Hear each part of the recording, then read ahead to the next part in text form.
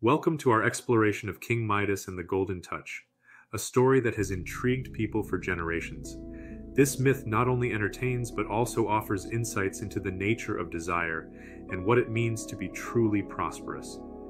As we examine this ancient tale, we'll look at its origins, consider its lessons about greed, and see how it has influenced literature and culture over time.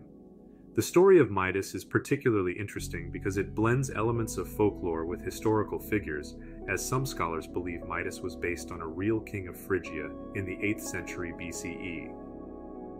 The story of King Midas is a good example of how our strongest desires can sometimes lead to unexpected and often problematic outcomes. Greek mythology contains many stories that explore the complicated nature of wishes and their results, often serving as cautionary tales. Midas's ability to turn objects into gold, which at first seemed like an amazing gift, quickly becomes a problem that threatens everything important to him. This story still feels relevant today, where the pursuit of wealth can sometimes come at the cost of other important aspects of life. It's worth noting that similar themes appear in folk tales from various cultures around the world, suggesting a universal human concern with the dangers of excessive desire. Our story begins with Midas doing a kind deed that sets the stage for his life changing experience. Dionysus, the god of wine and festivities, was pleased by how Midas treated Silenus, the god's older companion, and offered the king a reward of his choice. Without much thought, Midas asked for the power to turn anything he touched into gold. Dionysus, aware of the potential problems this could cause, granted the wish, but with some reservation.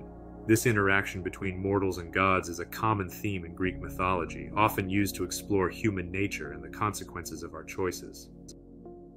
At first, Midas was thrilled with his new ability. He watched in amazement as leaves, rocks, and even his throne changed into shining gold at his touch. However, his happiness didn't last long. When he sat down to eat, he began to realize the downside of his new power.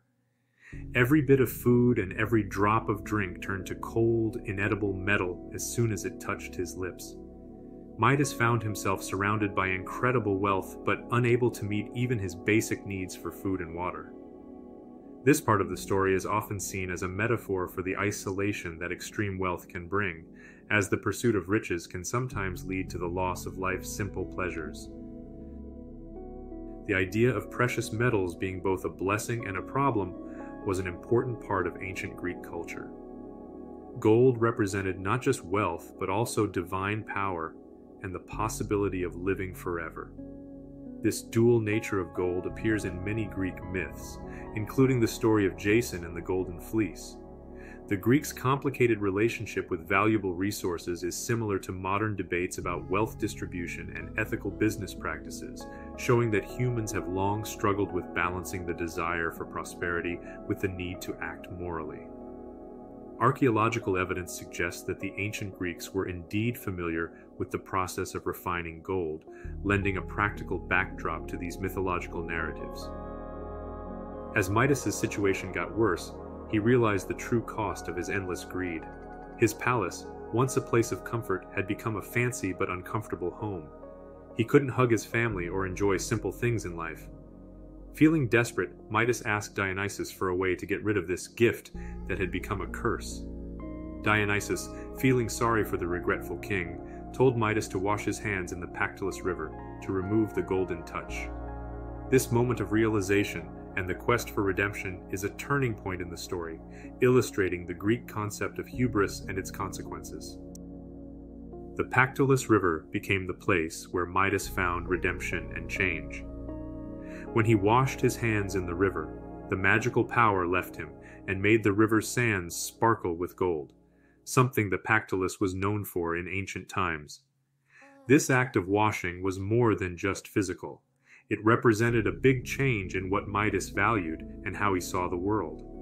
As he came out of the river, Midas was free not only from his curse, but also from the greed that had taken over his life. Interestingly, geologists have found that the Pactolus River, modern day Sartkai in Turkey, does contain gold deposits, providing a possible historical basis for this part of the myth.